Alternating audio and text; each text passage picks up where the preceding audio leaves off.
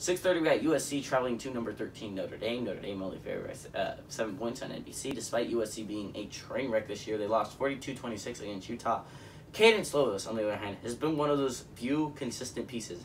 He went 33-53, threw for 401 yards, two touchdowns and a pick.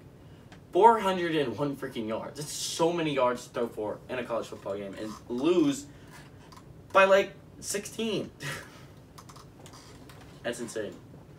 Uh, he's ruining his efforts. Uh, Keaontay Ingram didn't have the best day, but not horrible. 14 carries for 70 yards. Drake London had a great day. 16 catches for 162 yards and a touchdown. 16 catches in a game is absolutely insane, by the way. Uh, two weeks ago, Notre Dame was able to eke out Virginia Tech on the road, 32-29 at Virginia Tech. Uh, Tyler Buchner had, had only went 6 of 14, threw for 113 yards, a touchdown, two interceptions. Um, but Jack Coan was later the starting quarterback. Um, he was crucial in the ending, um, but it was not a great offensive performance. Kyren Williams had 19 carries for 81 yards and a touchdown. Kevin Austin Jr. had three catches for 30 yards. Um, Notre Dame is 47 and 36 in this series all time. The last three games have gone to Notre Dame, and they've won four of the last five. Um, I think single-handedly, uh, Kedon Slovis can keep this close, right? Single-handedly, Kedon Slovis is a really solid quarterback, and I understand why he's slipped down in the charts a little bit because his team's not winning.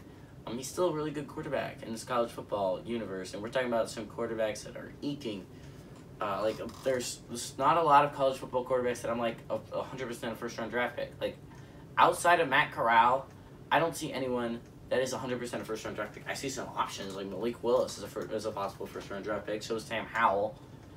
Um, but like, there's none that I would take top five. I think Matt Corral is a top 10 pick, maybe. Um, he's a good, solid quarterback, but it's just like USC is Kedon Slovis. Kedon Slovis is definitely, I think he's going to be something in the NFL. Um, I think Kedon Slovis keeps this close. Give me Kedon Slovis get the upset right here, right? We're going to have a crazy day of college football. Me USC on the road to upset Notre Dame.